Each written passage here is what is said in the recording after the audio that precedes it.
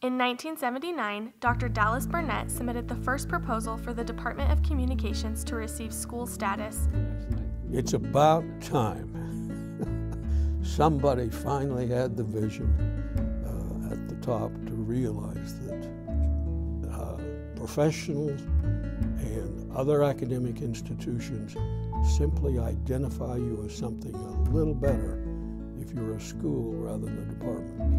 In 2015, eight proposals later, the department was finally approved to become the School of Communications. Remember that, that our department was organized in 1965. When I first began teaching public relations and advertising, there was no there was no admission. We were out recruiting students to come and join our faculty, join our, our student body. That's changed today until now. Only a select number can be admitted into the program because there are so many who want to join the, the students. The Department of Communications was housed in the Harris Fine Arts Center for nearly 40 years before being relocated to the Brimhall building in 2004.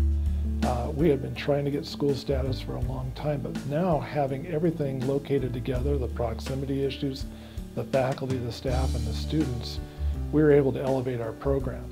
This is the second oldest building on campus. The Maeser is the oldest building. When this building was initially built, it was built on one floor as a mechanic arts building. There really hadn't been an updating of this building. Uh, no sooner did we rip up the carpet and realize that underneath the carpet of the stairways was the original tile that had been installed in the building. Actually, original tile and woodwork that had been installed in the building in 1935.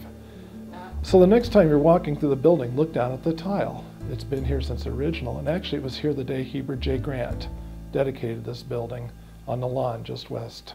After decades of passionate faculty, staff, and students, the School of Communications now has a name and a home.